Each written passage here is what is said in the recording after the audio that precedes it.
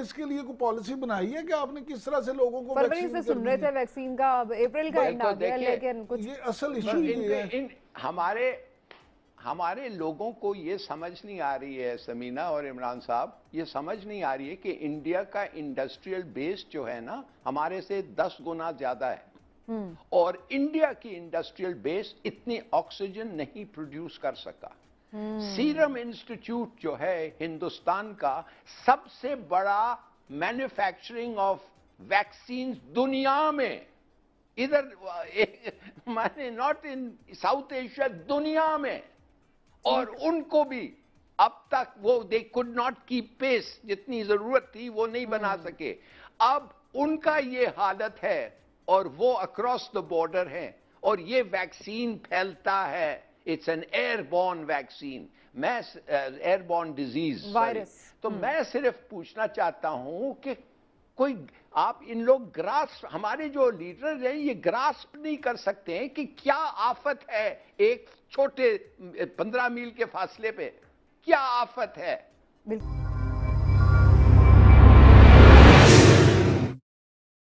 और ये कर्फ्यू फौज करवाएगी। इसलिए कि ऐसा चल नहीं सकता है। इमरान खान साहब बैठे बैठे कह देते हैं, हमने कहा था, मगर अवाम ने बात नहीं सुनी। भाई, नहीं सुनती है अवाम कभी नहीं सुनती है बात। जो उनको तकलीफ़ दे चीज़ है, वो क्यों सुने? आपका काम है इम्पोज करना लॉ को। आपने नहीं किया। मैं हैरान हूँ, आपने नहीं किया। अच्छा ये क्यों फैल रहा है? ये नए देखिए क्या क्या बहाने लोग ये नए वेरिएंट्स का बहाना आया है। नए वेरिएंट्स आ गए हैं ये जल्दी से फैल जाते हैं यूके से साउथ अफ्रीका से। क्या आपने उधर बंद किया था travel to UK and South Africa जैसे आपको पता चला बिल्कुल नहीं बंद किया था। हिंदुस्तान का भी आपने तो अभी बंद किया है दो तीन दिन पहले दो दिन पहले। क्या आपको उससे पहले नहीं पता था? उल्टा यूके ने हमें हमें बंद कर दिया। आए- हम पे पाबंदी लगा दी थी। अब आप अब आप पे मैं आपको बात बताता हूँ। एक्चुअल बात है इनडिसिप्लिन इस मुल्क में डिसिप्लिन है ही नहीं। मिसाल के तौर पे समीना अगर लोग मास्क पहनते आपको पता है कितने फ़ीसद इंफेक्शन कम होते?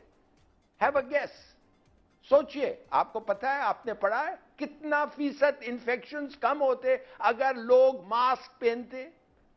नब्बे हाँ, फ़ीसद। हाँ बिल्कुल। अब आप मुझे बताएँ। परसेंट तो बिल्कुल डॉक्टर्स ने नाइन्टी परसेंट। 90% और मैं हैंड वॉशिंग पे नहीं आया हूँ। हैंड वॉशिंग और डिस्टेंसेस पे नहीं आया हूँ। सिर्फ़ मास्क पहनना मगर नहीं नहीं पहनते और लोग कुछ नहीं कहते। आज वो शाहबाज शरीफ का रिसेप्शन में आपने देखा था? जी, फिर जी, से वो क्लिप देखें। चार पाँच मास्क नज़र आएँगे और 400 लोग नज़र आएँगे आपको। कितने लोग उस उस उस प्रोसेशन से as a result of that कितने लोगों को कोरोना होगा? मैं समझता हूँ दो सौ से लेके चार सौ तक। और कितने बच्चे को असर होगा और खुदा जाने क्या होगा? मैं जानना चाहता हूँ भाई आपका प्लान क्या है? आप एक डेजिग्नेटेड एरियाज़ को डीसीज एसएचओज को ला रहे हैं पेट्रोलिंग कर रहे हैं मास्क दे रहे हैं फाइन कर रहे हैं। क्या कर रहे हैं आप? खुदा के लिए बताएँ खुदा के लिए बताएँ लोगों का जान बचेगा। बिल्कुल ठीक। और दूसरी चीज़ ये है अगर कम से कम आप अर्बन एरियाज़ में जिधर 30-40 फ़ीसद पाकिस्तान की पॉपुलेशन में उधर कंट्रोल कर लें तो 70 और 60 और 70 परसेंट रूरल एरियाज़ के लोग बच जाएँगे। सही। अगर अर्बन एरियाज़ पे कम से कम उधर तो कंट्रोल करें वहाँ पे ही ज़्यादा. तबाही मची हुई है। हमें देहात में तो उस तरह से रेट भी कम नज़र आ रहा है। लेकिन इमरान साहब आपका क्या ख्याल है? अब दोबारा से वो हम जुजवी सा लॉकडाउन करके और अब फौज का एक इंदिया दे के अब आवाम से अमल करवा लेंगे? मुझे तो वज़ीर अजम इमरान खान साहब की सारी बातें सुन के ना मुरीद न्याजी साहब की वो नज़म याद आ जाती है कि हमेशा देर कर देता हूँ मैं। देर हो गई है। हाँ जी बहुत देर हो गई है। वज़ीर अजम की ने ज़िक्र किया इंडिया का। जी। तो इंडिया में रोज़ाना तीन लाख से जायद केसेस आ रहे हैं। तो मुझे तो डर है खुदा न खास्ता पाकिस्तान में भी अगर ये हो गया मामला इस तरह का तो हम करेंगे क्या? आप अभी ये शबाज शरीफ के इस्तकबाल की बात कर रहे थे। वज़ीर आज़म जो आज इतनी बड़ी बड़ी बातें कर रहे थे उन्होंने कोहसार यूनिवर्सिटी का जो इफ्तः किया है तो उसमें शुरा देखें सिक्सटी परसेंट से ज़्यादा शुरा ने तो वहाँ मास्क नहीं लगाया हुआ था। तो क्या वहाँ भी फौज बुलाएँगे इनको समझाने के लिए? हालाँकि वो तो एक तकरीब थी। वी आई पीज थे ना? वी वी आई पीज उन्होंने नहीं लगाया। यहाँ कौन जिम्मेदार है इसका? बिल्कुल ठीक है। बात ये है कि आप ये देखें कि अब इंडिया की तरफ़ वापस आ जाएँ कि जो वेरिएंट की इन्होंने बात की है इंडिया में एक वेरिएंट आया है बंगाल का। जी। बंगाल वेरिएंट उन्होंने कहा। उसमें वो कहते हैं कि उसमें डेथ है हंड्रेड परसेंट हम्म। उस पर ना को कहते हैं कोई वैक्सीन असर करती है। है हाँ जी ना कोई इम्यून सिस्टम रह जाता है। तो खुदा न हंसता अगर हमारे यहाँ आ गया तो फिर होगा क्या? ये हमारे यहाँ जब तक हुकूमत जी लाली साहब जब तक हुकूमत सीरियसली पूरी सख्ती के साथ डंडे के साथ इस पे अमल दरामद नहीं कराएगी मुझे बताएँ इनके पास तो इन्फॉर्मेशन हमसे कहीं ज़्यादा मेरे से लाली साहब से हमसे कहीं ज़्यादा होती है। अगर ये फ़र्स्ट रमज़ान को 10-15 दिन के लिए लगा देते लॉकडाउन तो क्या होता? वो चेन टूट जाती। अब ये नहीं लगा सकते क्योंकि बहुत तो सारे भी करीब आ जाएगी सारे मैं यही कह रहा हूँ पाकिस्तान में बहुत सा एक बहुत बड़ा तबका है जिसका सब कुछ ये रमज़ान के आखिरी दस पंद्रह दिन दिनों पर इन्हिसार करता उन्होंने पूरी अपने साल की कमाई इसमें करना होती है। ये सारे मामलात है सब इन्हें जब टाइम होता है काम करने का इन्हें टाइम वो। फैसला याद नहीं आता। जी लाली साहब? देखिए देखिए मैं आपको बताना चाहता हूँ जो मैंने देखा है इंडियन टेलीविज़न पे इंडियन टेलीविज़न पे जो मैंने देखा है आप यकीन नहीं करेंगे। अगर लोग कहें आपको कि चलते चलते लोग गिर के मर रहे हैं आप कहेंगे नहीं नहीं ये कैसे होता है? मैंने ये देखा है उनके टेलीविज़न पे बता रहे हैं चलते चलते लोग गिर के मर रहे हैं। बच्चे लोगों और माओ के हाथ से गिर रहे हैं। इट इज़ अनबिलीवेबल जो मैंने देखा है।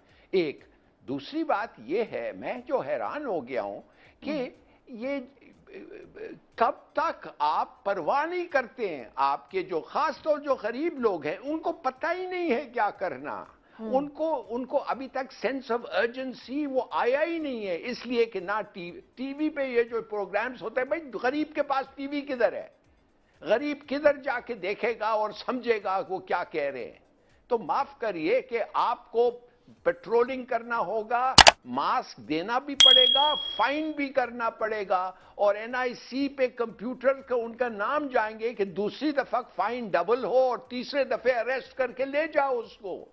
ऐसे लोगों को जब आप ले जाएँगे, लोगों की ज़िंदगी बचेगी। और फाइनली मैं आपको यह कहना चाहता हूँ कि देखिए, खुदा के लिए अभी से शुरू करें, इसलिए कि बहुत सारे बिजनेसेस हैं पाकिस्तान में जो अपनी आमदनी पूरी साल की आमदनी सिर्फ़ शॉपिंग स्प्री जो ईद का होता है उस पे डिपेंड करते हैं।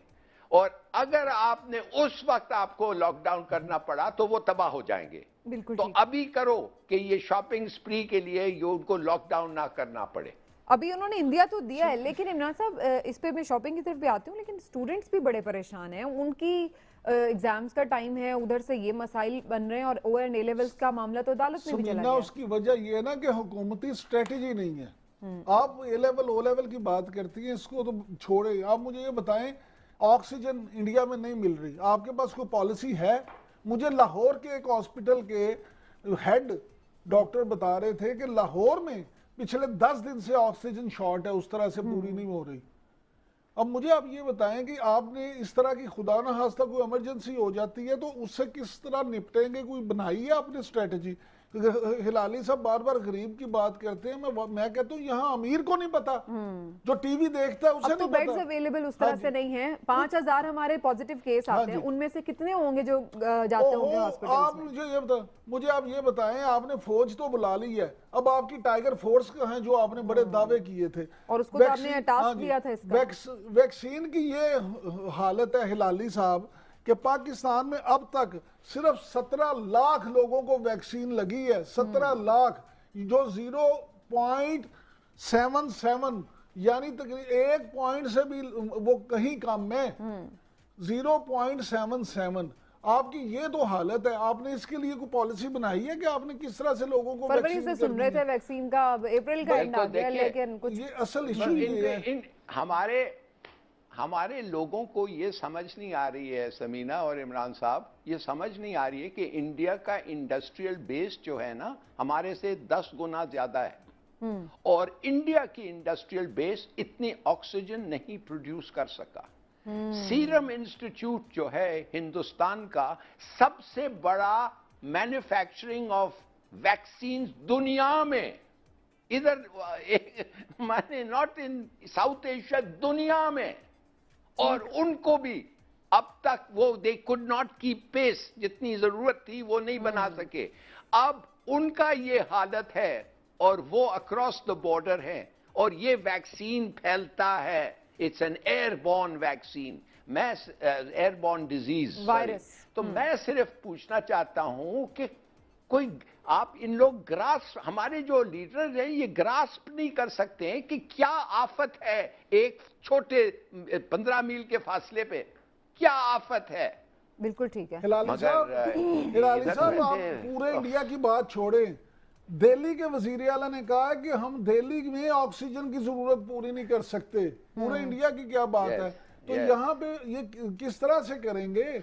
बिल्कुल ठीक है। लेकिन अब स्ट्रेटेजी जो प्राइम मिनिस्टर साहब कह रहे हैं उनको भी शायद अब दिख रहा है कि लॉकडाउन मुकम्मल लॉकडाउन की तरफ़ सूरत आ जाए। मैंने सिर्फ़ एक बात सुनने 2019 में हम्म। रमज़ान में 35 अरब रुपए की शॉपिंग हुई थी। जी। पिछले साल कोरोना की वजह से लॉकडाउन की वजह से 10 अरब हुई थी तो लोगों की चीहे निकल गई निकल। गई थी। अब महँगाई ज़्यादा है हाँ और लोग कमा नहीं सकेंगे तो पूरा कैसे अब इस वक्त ये इस रोजों में तो कम अज कम मैं नहीं समझता कि पूरा फुल लॉकडाउन कर सके। अच्छा लेकिन वो इमरान खान साहब तो कह रहे हैं मैं सुनवा देती हूँ।